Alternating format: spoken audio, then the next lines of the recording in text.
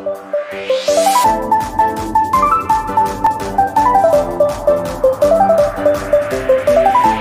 दोस्तों, आज की वीडियो में आप सभी का स्वागत है। दोस्तों, मैं आज आपको बताऊँगा अमित बड़ाना के कार कलेक्शन के बारे में। So let's start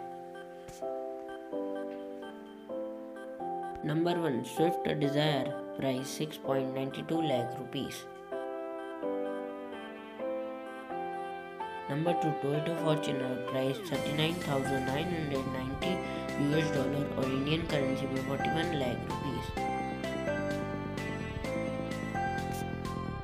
number three Mercedes Benz E class price 54,250 US dollar और इंडियन करेंसी में 62.78 लाख रुपीस